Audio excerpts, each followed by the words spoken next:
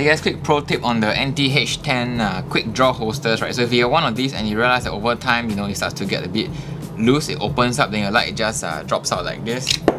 Know, how can you uh, solve this problem? It's very simple, use a zip tie. Okay, so here I have a really beefy one, so just wrap the zip tie around the base like this. You know, the extra knob can be here.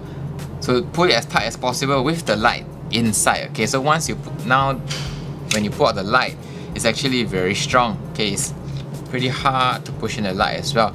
So this gives you a secure hold. So now if I do the same exercise, see now it's a really solid hold on your light versus the old one. So if I do a double comparison with zip tie, okay, without a zip tie, there.